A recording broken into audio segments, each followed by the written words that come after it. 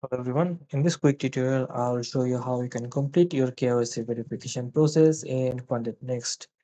So once you've completed the challenge phases, you will get a notification prompting you to start KYC.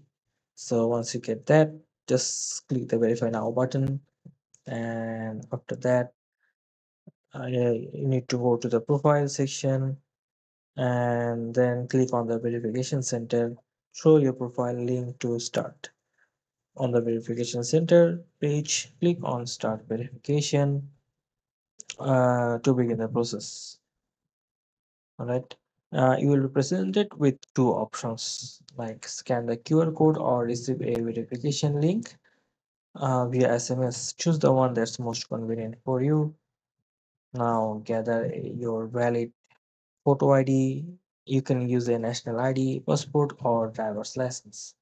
Just make sure the documents aren't expired Now, after you have gathered your documents, submit them through the link provided in your SMS or via QR scan.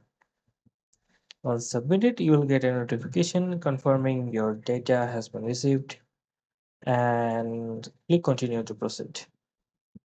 Next, enter the full name and address and agree to the terms and conditions and then click submit.